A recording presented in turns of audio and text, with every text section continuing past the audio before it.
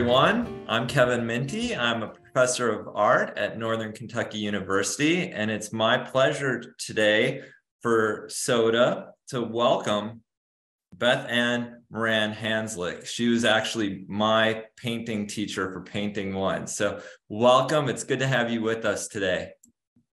Very good to meet you again, Kevin. I haven't seen you in a while, and just a real honor to be part of your community and podcast today. Mm-hmm. So, I've recently watched a podcast with you on it, and you talked about your sort of introduction to art. Uh, could you share that with some of our viewers? And I recently myself saw the Carl von Marr painting just over Christmas break. I was blown away. But if yeah. you want to share that experience with our viewers, that'd be great. Yeah, I think we all have these um, deep kind of senses that we are visual people and artists. But um, I grew up in West Bend, Wisconsin, and we were fortunate to have this collection of Carl von Marr paintings. And this painting that Kevin just mentioned, that you mentioned, Kevin, is massive. Uh, it is 22 feet long, 13 feet high. It is a procession down a medieval city. And you could just walk, you walked in at at the top of the painting because there was a balcony. Then you go down this little promenade up to the painting.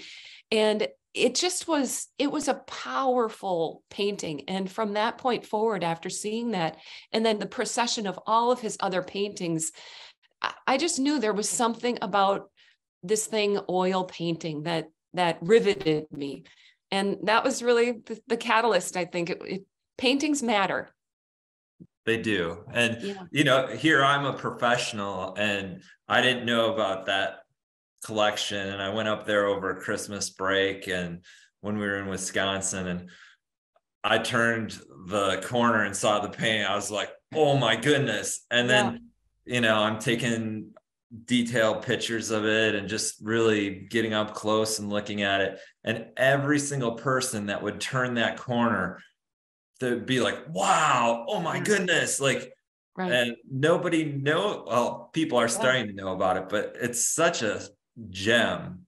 Yeah. And his other paintings are are marvelous. They're just marvelous. Yeah. So mm.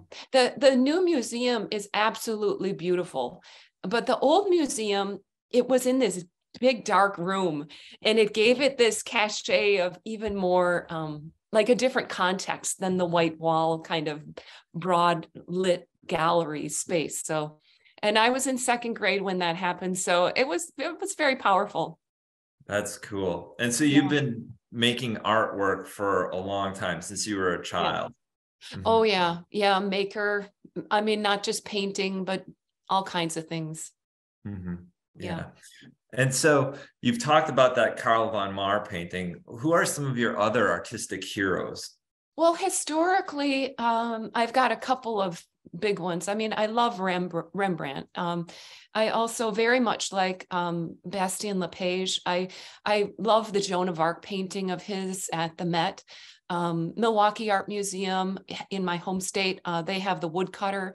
I love that painting. The way that he paints the flora and fauna of the ground. It's so it's so layered. Uh, it's not a indirect painting process in the traditional sense of creating a grisaille and all of that but it is an indirect process in that I always feel like he's wrestling with the paint to make the make the thing come into its reality. And and I, I just so I really respond to Lepage. Um, yeah, there's so many yeah. people. You, William you, Nicholson. You feel he wrestles with the paint. When I yeah. look at that painting at the um, Milwaukee Art Museum, because I always, anytime yeah. I'm in Milwaukee, I go and see it. I don't think he struggles with it at all. It's just like I look at it, I'm like, he makes it look so easy and effortless, and I'm just, it's a struggle for me all the time. Yeah, exactly. It's a struggle for me all the time too. But that's what I see in Lepage. Like, I don't see it as, I mean, the the result is incredible, right? But what I don't see is I don't see like so many of the um, so many people who are really academically trained even like a bouguereau there's a bouguereau right around the corner from that there's this appearance of these smooth beautiful veils of paint there's it's it's it's a different aesthetic i mean a gorgeous, beautiful aesthetic.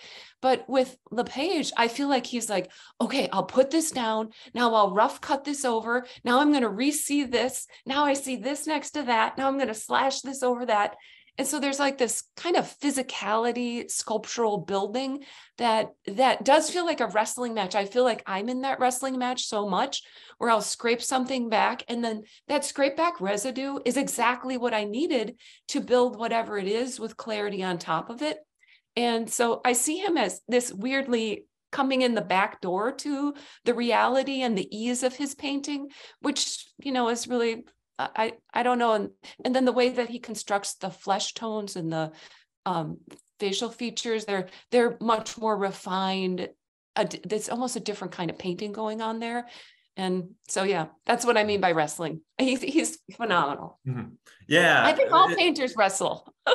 yeah, um, but and, and I I I think that that's a really interesting observation that you that you put forth uh, because when I look at your work, um, you could think of Russell as struggle, but you could also think of Russell as we're in it. This is what we're yeah. doing right now. Yeah. And when I look at your paintings, I see that constant like like you show up and you're not really sure what's going to happen. Uh, that's yeah. what we do. and then and then you're in it and you're just you you forget what's going on. It's not like a, B, C, D. It's, exactly.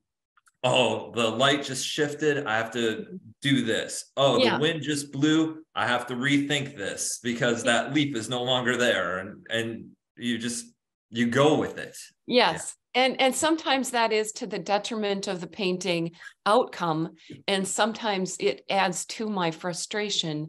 But it it is um, in effect my method non-method that always it, it has a, a cornerstone of clarity to me but then it's a free rambling thing that i do get kind of swept up in. You nailed it kevin Oh, you have better insight into my painting, I think, than I do. no, it's it's just I think, and, maybe that comes from plein air painting. I think yeah. so many people need some sort of like uh, recipe as mm-hmm. to how something's done, and yeah. when you're out there in the landscape, you're trying to make it work and you're doing whatever you can and it's not like uh, one size fits all it's you're doing anything you can to try to make sense of what you're seeing yeah, exactly. Um, the painter Stanley Lewis is someone that, you know, in a distant way, I kind of identify with. Uh, he's a little more eccentric in that habit, but um, yeah, you have to just get in the ring and and and kind of fight it out and enjoy all of the you know little changes that happen along the way. That's what makes it so exciting and engaging for me. I'm i'm not as maybe analytic when it comes to the process.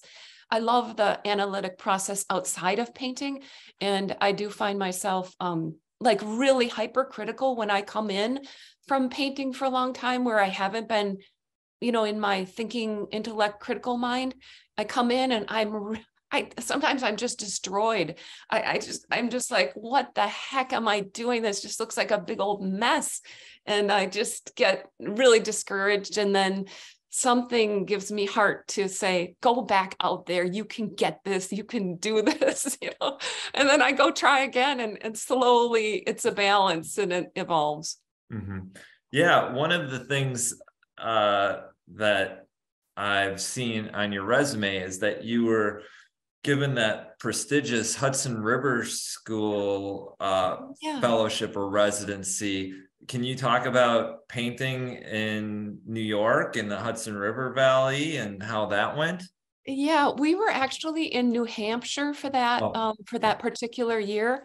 Um, it it's an I put a slide in there of one of the paintings that I did, Kevin. So if you see it later, you can pull it up. It just uh that was 2014, and I really thought, hey, you know what? I'm way too old to do this. They they want young people to do this, and and then my husband just said, just do it. You apply. Why not?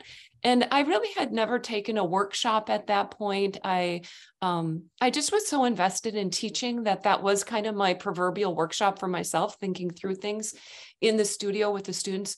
But yeah, I drove to New Hampshire. There was a group of artists who were uh, invited, and they provided the housing and everything for you to be there for three weeks. And then you just painted together. You went out in landscape every day. I think I made about 35 or 40 paintings over three weeks, um, which was a you know pretty good number of paintings, lots of studies. I really didn't completely. I thought maybe there would be a little more guidance or like leadership instruction, but later I found out that that particular year was when um, Grand Central Atelier was moving from I think their Water Street location um, to to where they are. Well, no, I think they just moved again, actually. But anyway, they were in a move. So some of the people that I thought I might meet there weren't there.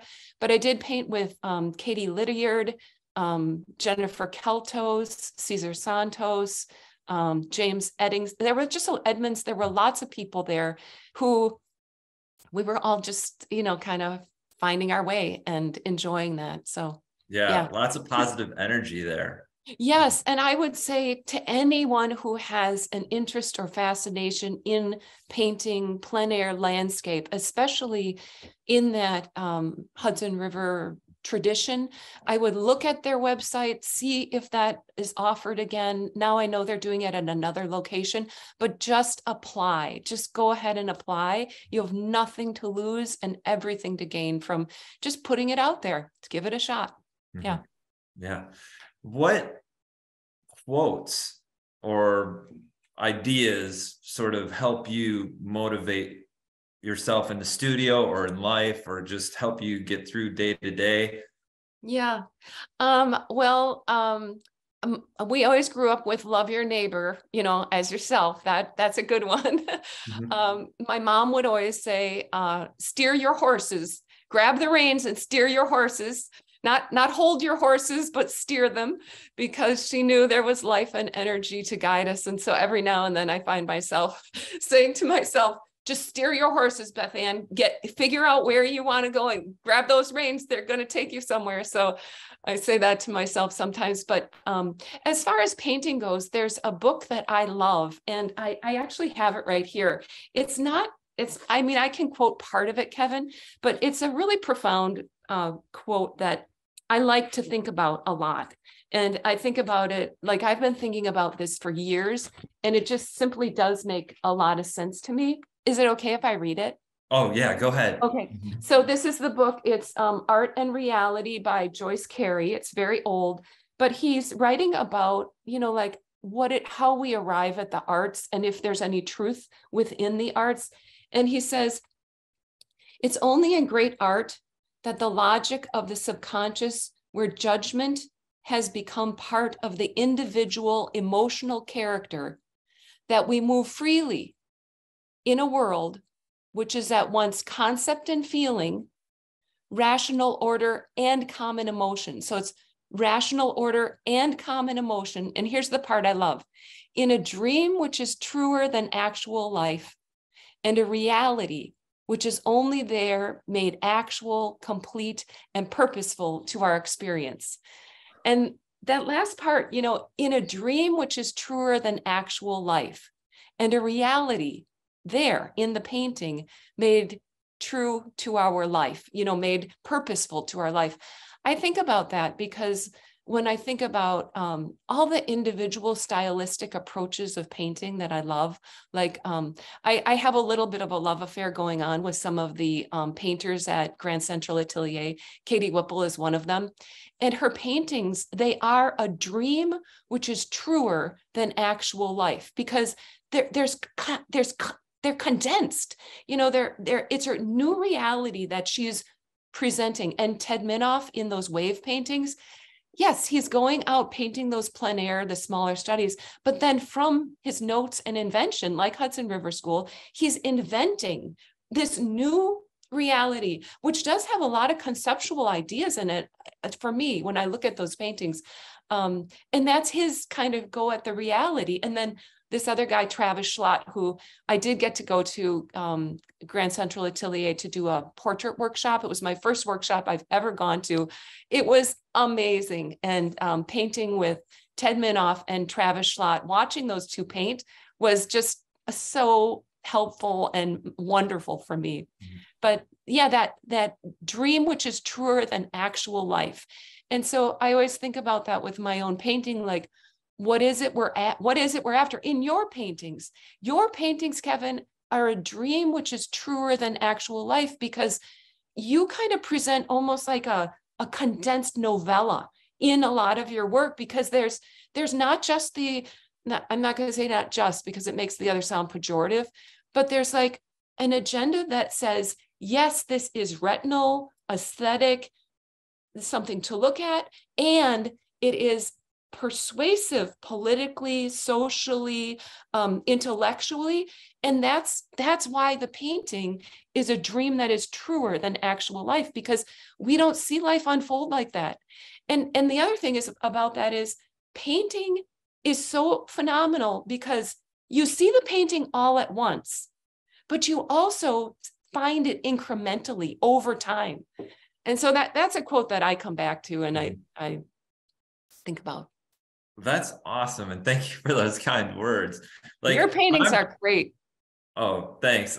As you were talking about that, I was thinking about uh, just all the great paintings have that stuff. I was like, hmm.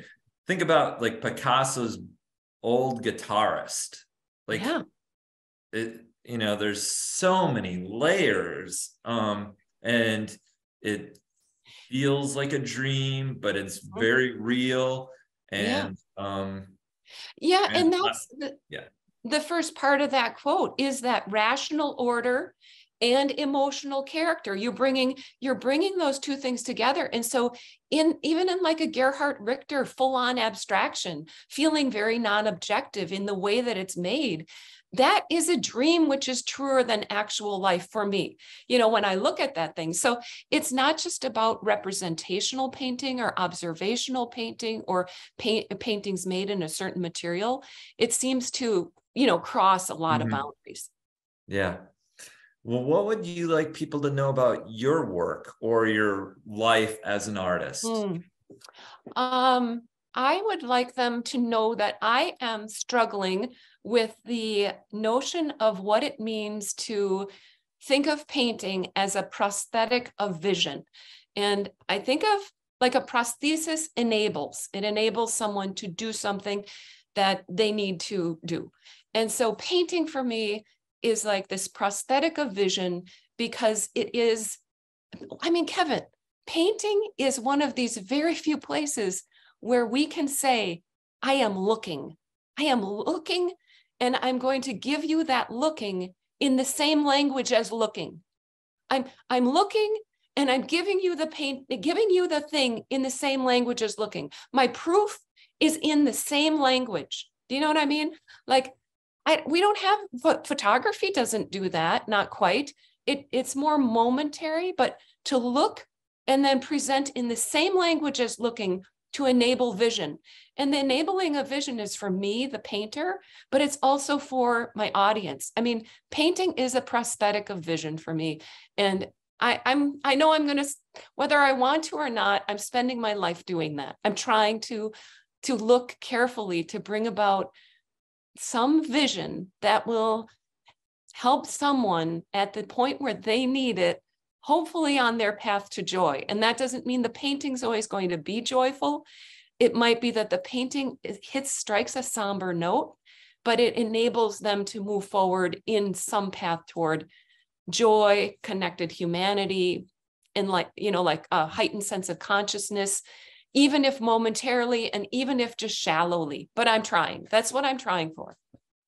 I think you do a good job of that you you're you're sharing your vision with the world and i think that that's a really uh, honest way to go about things. I think it's a very humble way to go about things and i think it's a very vulnerable way to go about things in terms of like you go to these places and you sit and you observe for long periods of time when the rest of the world is doing all sorts of things. They're sitting at their computers, they're doing work, they're sad about something, they're happy about something.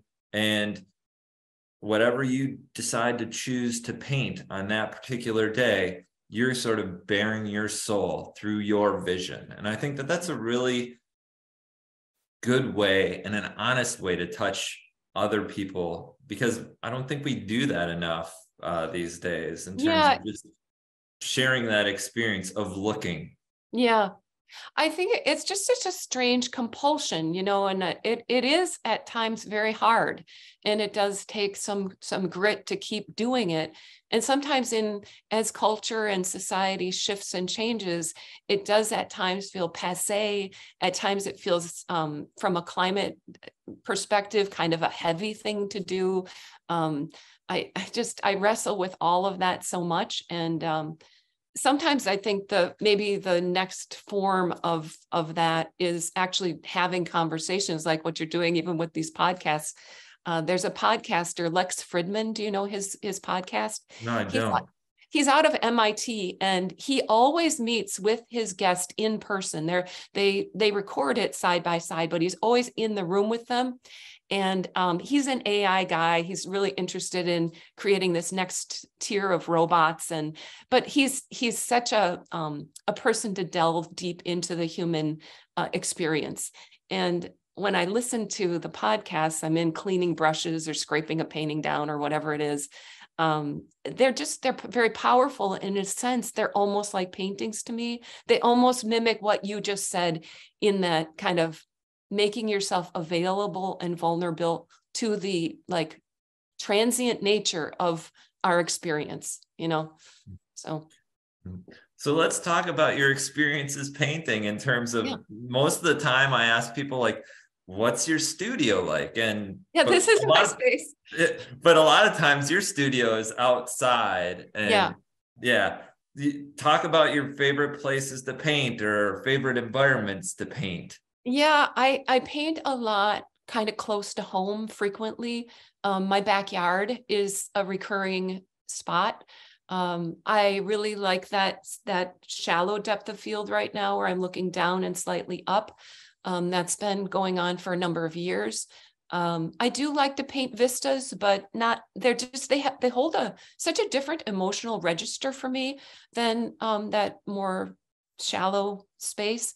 Um, so my backyard is a big one. We have a beehive, we have apple trees. There's this rock right outside the studio door that I'm I don't know why I'm so compelled by that thing, but I, I keep putting things on it and painting them in all different seasons. Um, and then we have a little place up north in the woods, and I love painting there as well. And then occasionally I'll just go driving around and I'll have like a 50 inch panel in my car and I'll just uh, pull up somewhere and ask someone if I can paint at their house. And they never know what they're getting into when they say yes, but you know, they mm-hmm. they learn. We learn together. That's great. I mean, I I would love to just be driving along and just see you on the side of the road painting. That would be yeah. awesome. Yeah. Mm-hmm. Sometimes my people friend, honk at me. yeah. My friend Joe, my friend Joe Haymeister, who went to uh, UWM. I know Joe yeah, he. I think he shows with you, at, or I don't know if he's still showing at Ed, Edgewood Orchard Gallery, and oh. he showed at Tory Folliard, both yeah. places you show at. Yeah. But he told me once, uh, I believe him, but it sounds so far fetched. He's like, he went out and he was, um, he saw this farm and he was like, uh, do you mind if I, he went to the farmer and said, do you mind if I, you know, paint your cows. And the next day he came and there was a cow that was like tied to oh wow. um, a tree.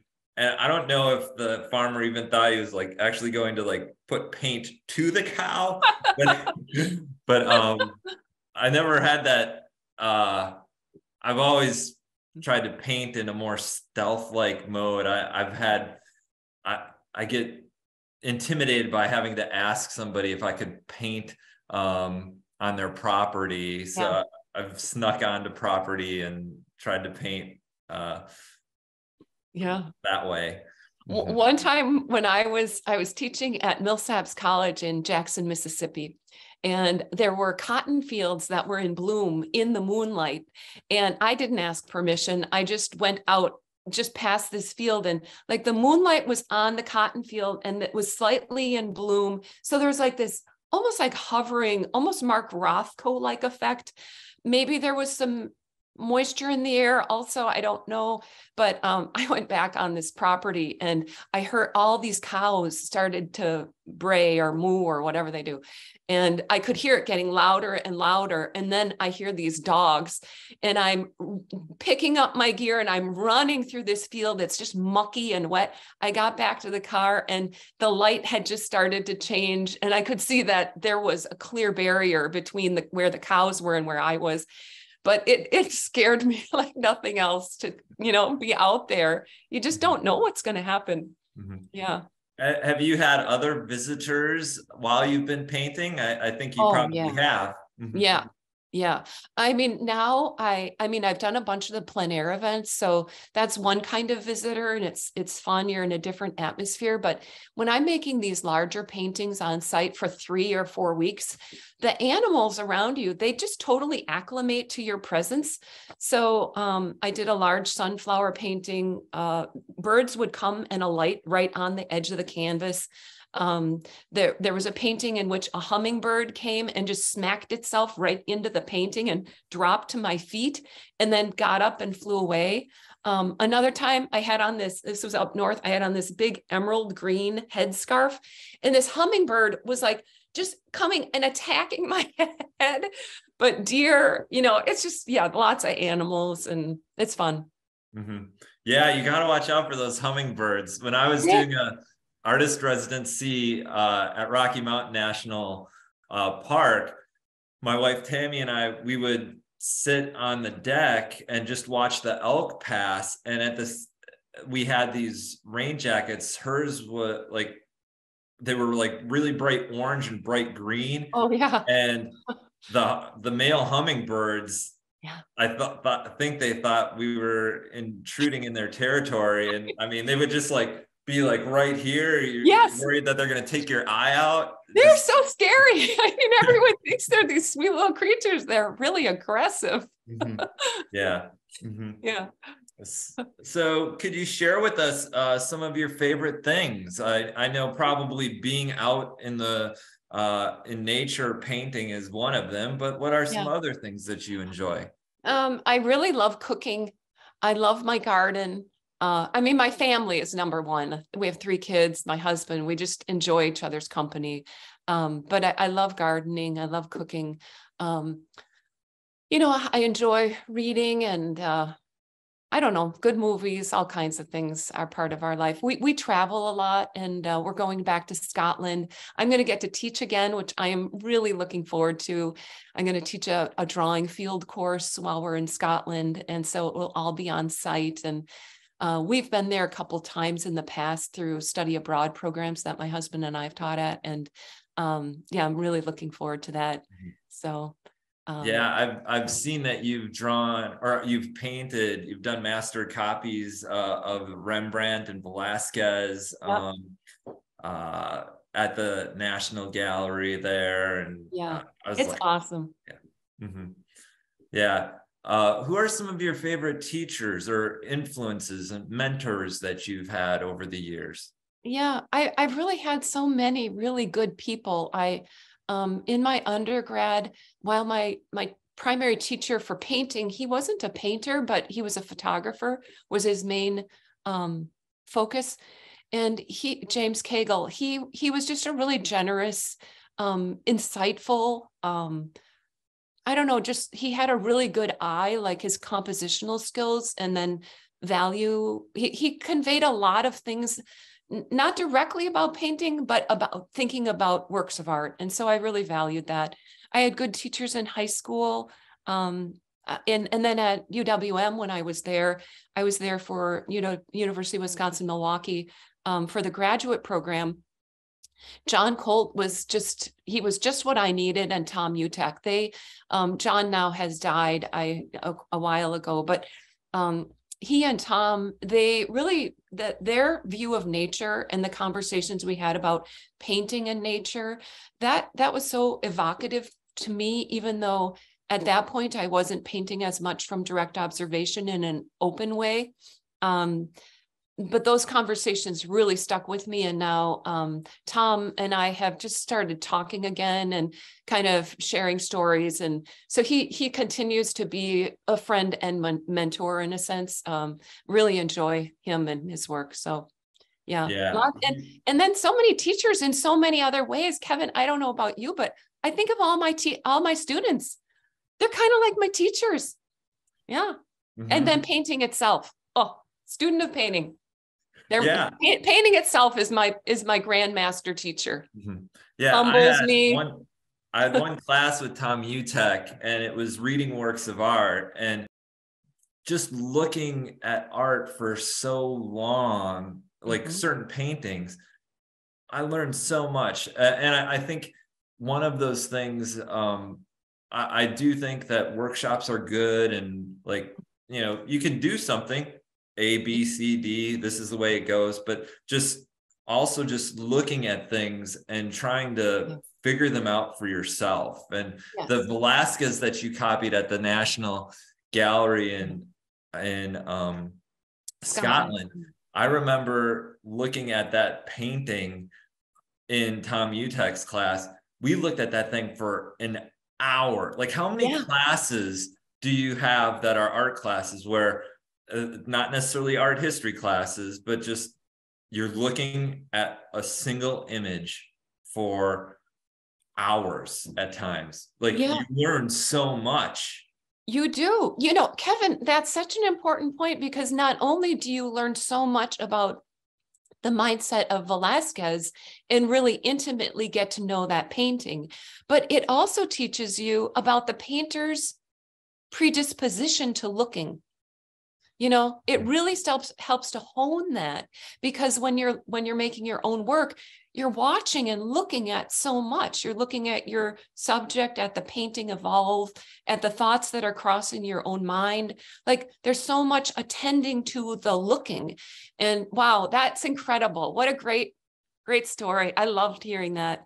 Um, I, in some ways, I I wish I had been an undergraduate student. I mean, I, I'm I don't want to take anything away from my undergraduate experience because it was good. But you know i always want to fold more in. And i just think that that would have been really cool to have had tom or any of those people as a you know undergrad. Yeah but you can learn so much from all different yeah.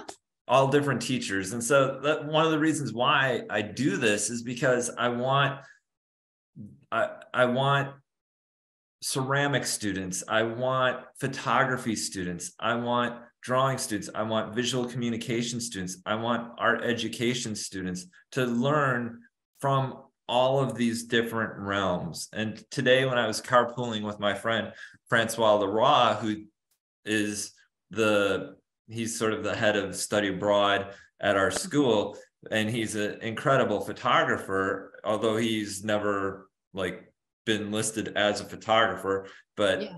he talked about hunting the image um, yeah. as a photographer. And it's like, yeah, I mean, yeah. that's what every single artist should be doing is hunting the image, trying to find just that perfect composition, the perfect light, textures, whatever it could be.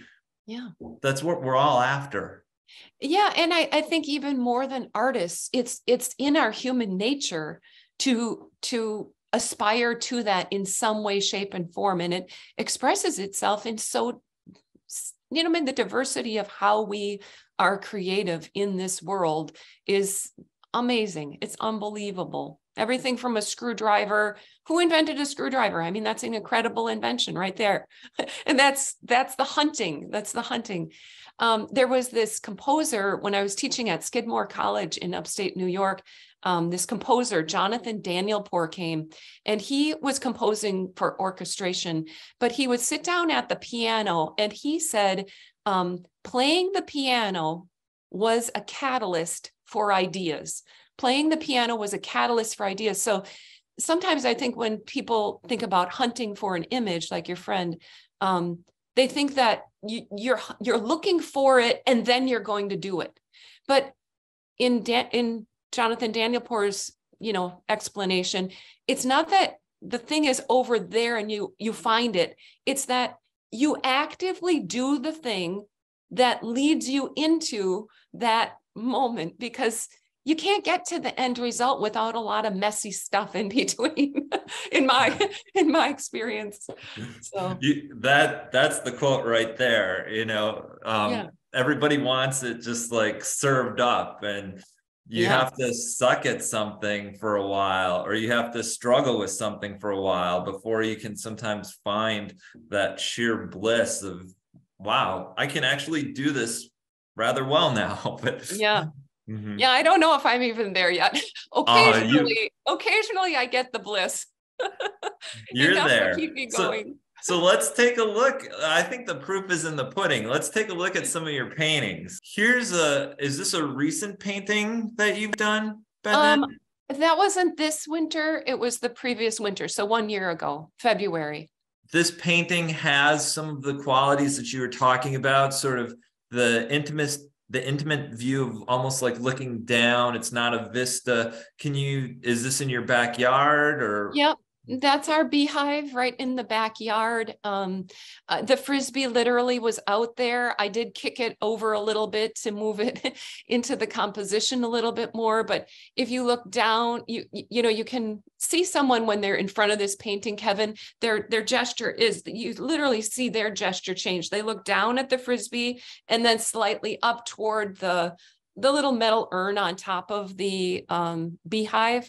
And I really was, you know, I was kind of struck afterward. Usually my ideas about the paintings come to me after, but I think it really was an idea about um, like the way the frisbee does sort of foreshadow the summer to come, the blue sky of the summer skies to come, or maybe summer past. And then the beehive itself, I, I'm really infatuated with the beehive because those bees are so incredible, number one, but there's always that promise of sweetness in there, all the honey, and it's unseen. You know, it's like this seen, unseen kind of mystery. So hmm. that's part of what that painting is about.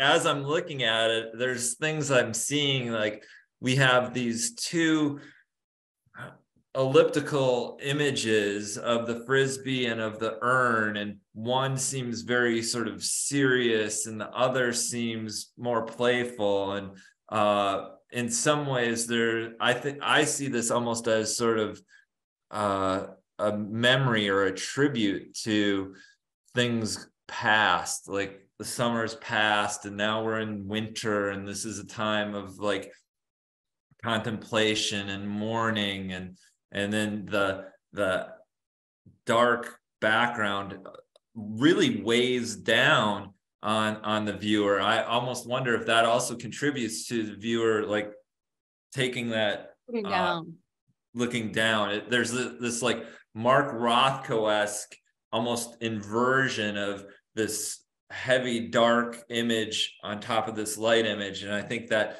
visual weight really makes people contemplate about what's what's going on. So. Yeah.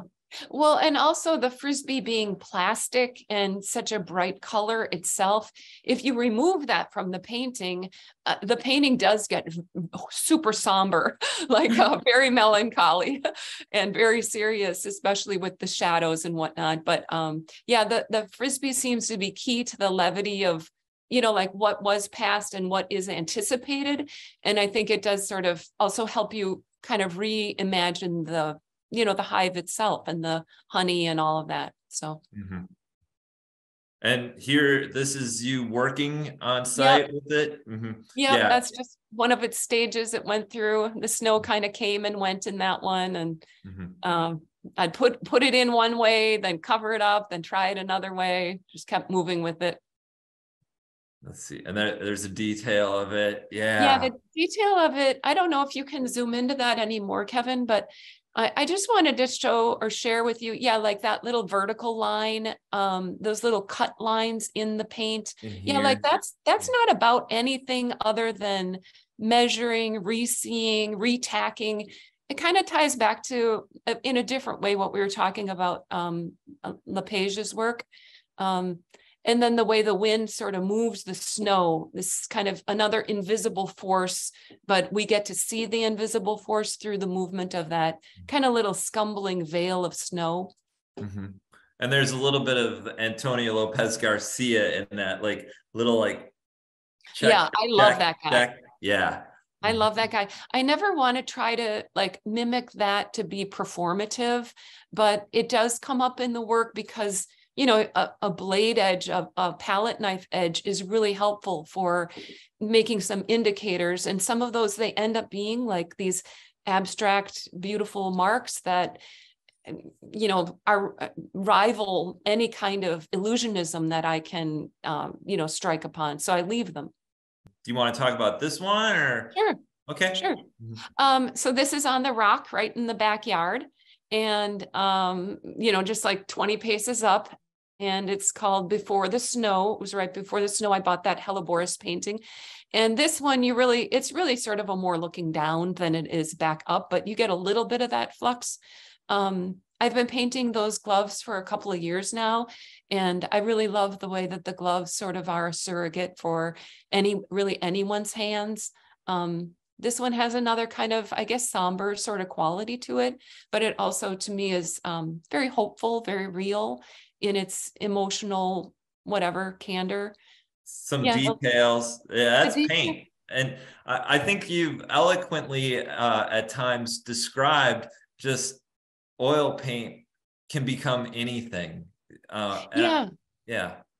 Yeah and here like if you compare if just for the sake of um, looking at this like the the thinness of the paint in the glove even like some of these little little tiny hatching marks. The paint there is quite thin. And then if you go back one um, to the other, then in this place, you see the paint, um, you know, really kind of heavy impasto describing that that little floral form and a very broken kind of brush mark going on. So like the painting is always in this kind of little push and pull, thick and thin, very dynamic kind of surface. And I, am not trying to control that in a sense of like a method moving forward. It, it sort of evolves itself. Look at your studio companion out there. Yep. And mm-hmm. there's my my good dog. She's always with me. Yeah. One of the things I liked about the way you taught us to paint is I feel like I don't need to know how to paint something. I just paint. And in the process of that, I'll figure out how to paint a glove or a rock or the petals on a flower. And and that's one of the things that I wish I could communicate better to my students because I think they always want to know like how do I paint blank? And it's like, yeah. Well, you put this shape next to this shape, you feel if that shape is thick or thin. Um, like, and it like magically like happens, but just you have to almost like throw yourself off the cliff and believe that you'll figure it out. And and yeah. and i think so often we don't have that sort of trust in in ourselves or that trust in the process. And um i think that just have you you have to like wrestle getting back to that you have to wrestle with it for a while. And then you're like well yeah i'll figure this out eventually. Mm-hmm. Yeah, I think there are a couple of things there. Like when kids are little, that's essentially what they do and they find very deep satisfaction in that. You know their purposefulness is in looking at it and then claiming their own space of how to make it. I do think though and i know from your own painting um, you know you have to have that foundation of how the theory the theory of how light hits a form the theory of how color interaction is relative and how it basically works. You have to know chemically you know kind of how your materials work and then and then get to that point where when you're actually when you have that foundation and then you're you're wrestling with that subject it is for me uh, less intellectual and more about a felt experience of the work. And and but it has to rely in some way on on that foundation if you're trying to express a, a dimensional illusional reality um, that other people then can feel. Because i think what what students very frequently do early on is they go to kind of a, a very smooth very um, like soft, very soft edges, soft. There's a softness to the way they want to paint that makes everything feel a little interchangeable. And then you got to just change that up a bit. Find find your nature. Mm-hmm. I always like to say that. Find yeah, your nature. And this is this is one of my favorite paintings that um, you've brought to show us today. Oh, um, thanks. It hangs with all of the great landscape painters from Van Gogh to Daubigny, and uh, it's I've always tried to welcome spring by doing a blossoming tree painting on site. Uh, and uh, could you talk a little bit about this particular painting?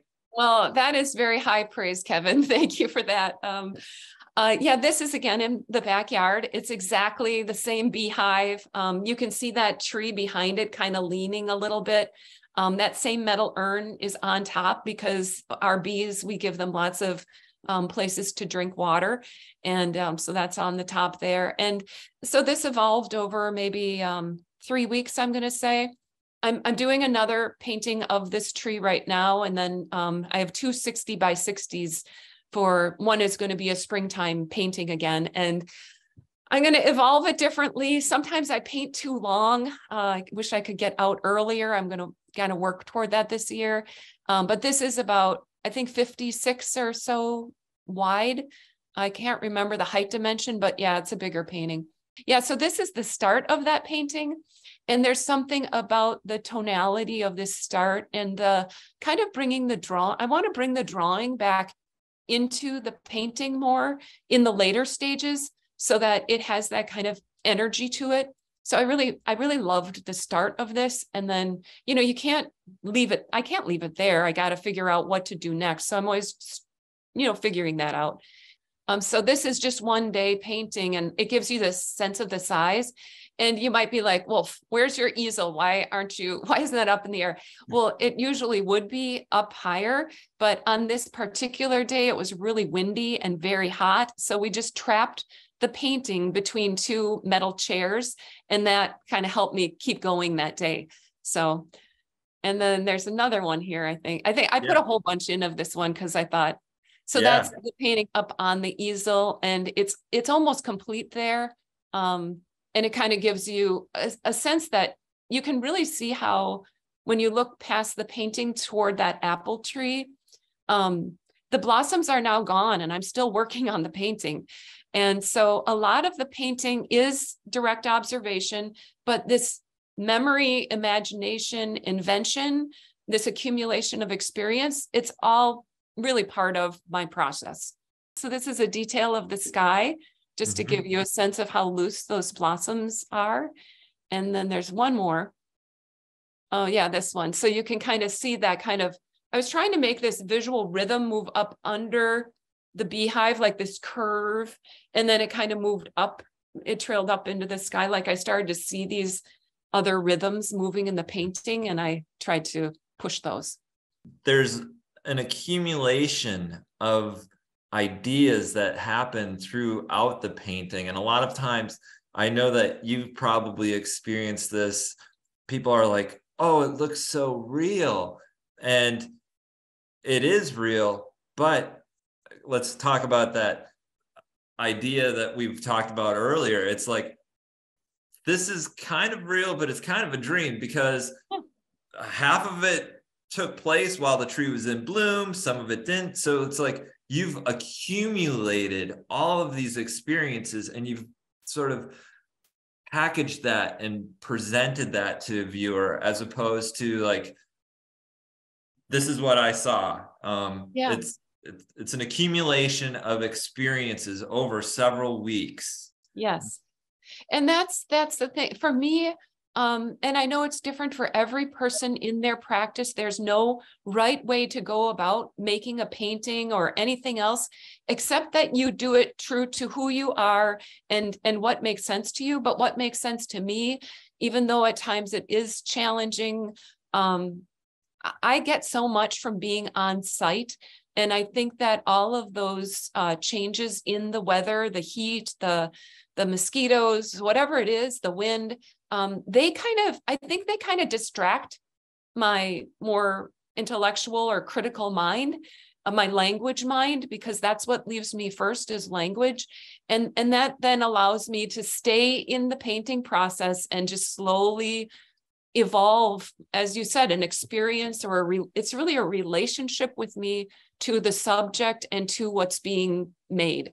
That's kind of my whole vibe right now. Although I do think, Kevin, that's going to change because these 60 by 60 panels, um, they're getting, I mean, I'm still able to move them out by myself, but when it's windy, it's really hard. And then um, I'm going to be making a couple paintings that are bigger than that. And those are, I'm going to have to rely on something else because I won't be able to move those in and out as easily and get them on site. And I don't know what that's going to be. I just I'm I'm excited for that. I I'm terrified. I'm excited.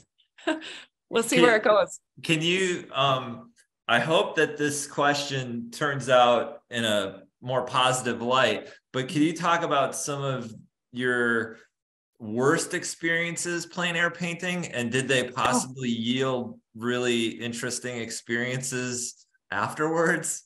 Oh, yeah. I mean, there have been so many times when the easel goes down, the painting t- totally gets, you know, whatever's ruined, so to speak. But um, I, I never really see that as a as a detriment. I mean, I did, I was painting a 60 wide, a 40, 48 by 60 on the shore of Lake Michigan. It was like my third day in uh, it was windier that day than any other day. I had this huge log, driftwood log, that was anchoring my easel.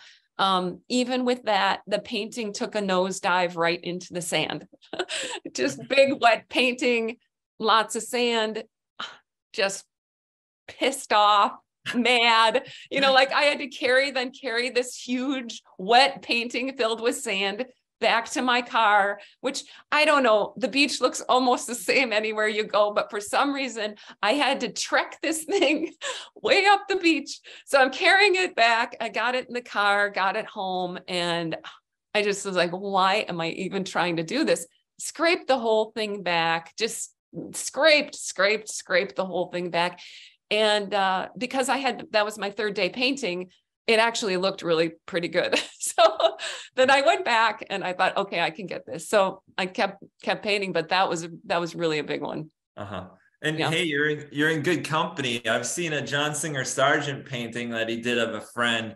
Uh, uh, I don't know if it was a friend or like a brother-in-law or something, but he's lying on the beach and you can see in the paint there's sand. So it's like oh. that's the real deal. He was doing it on site on location. Yeah. yeah.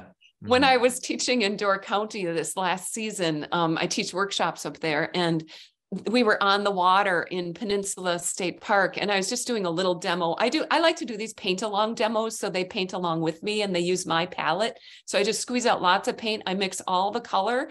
They see me mix the color, but then they get to dip right into mine. They make their own paintings. Well, this cloud of little tiny midges just like descended on us and all of our paintings were just crusted with like every every place there was a midge just stuck right in the painting and they were it was funny it was frustrating but very memorable. It's like pointillism but it's midgelism right exactly. Yeah. Exactly. Yeah. Well you've definitely uh paid your dues in terms of land, landscape painting and so you, you get street cred there. Yeah i don't know.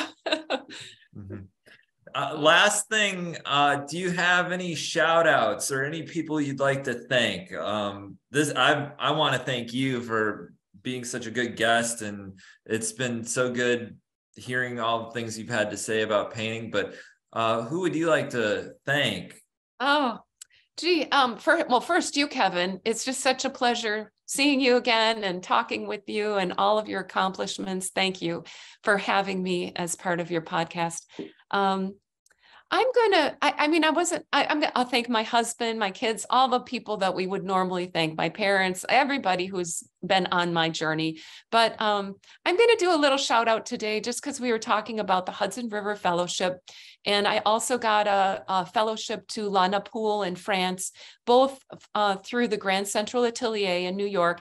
And the three people there that I'm doing my shout out to are Katie Whipple, uh, Ted Minoff, and the wonderful painter Travis Schlaht, who, um, wow, I just, I love the air in his paintings. And I feel like I have so much to say about those paintings, but um, they've, they've really made a difference to me and uh, I, I appreciate their work. So I'll say that today. Great. Yeah. Painting air. I mean, yeah. Oil paint can become anything, right? Even air.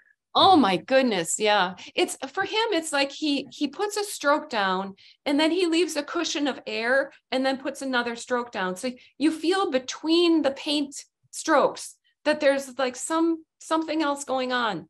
Really really crazy. Oh, and another big shout out all former students because I have lots of years of teaching. So yeah.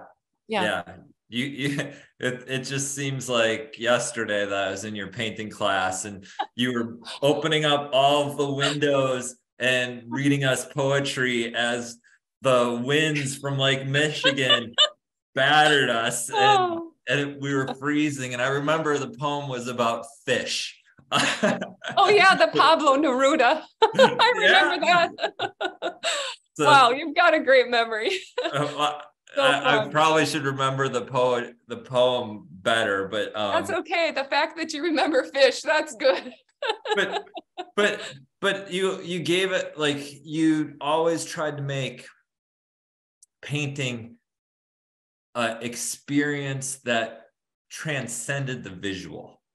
Yeah. Uh, and I remember we did things that were wacky that were also just so inspirational. For example, you had us on the like uh, it was the first day of spring we had to take off our shoes and we walked in the grass with our eyes closed and we had to really embrace those sensations and so those are the things that good paintings transcend beyond the visual. They they make us feel more human and they keep us in touch with that.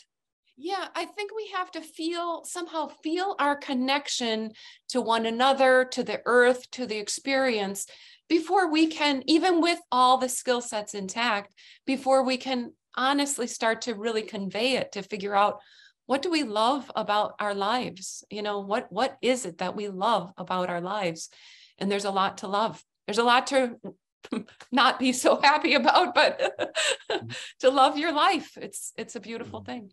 And to be sad sometimes is important too. I want I want to give a shout out to your uh, essay about your painting of the um, bird, and oh, sometimes yeah. it's okay to be sad. That's in was that in realism?